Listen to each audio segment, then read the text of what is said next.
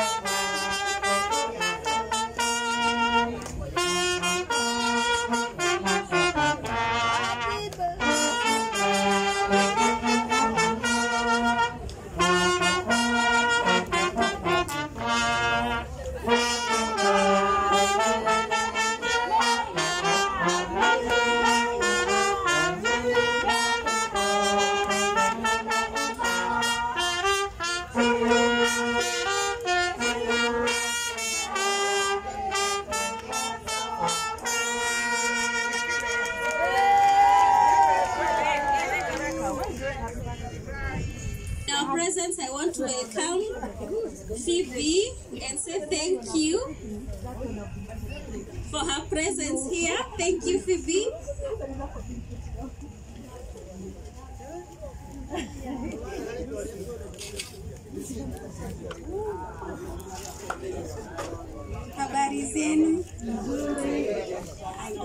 To say to amazing mom. And if I may say anything, she has taken care of me and taken care of my children.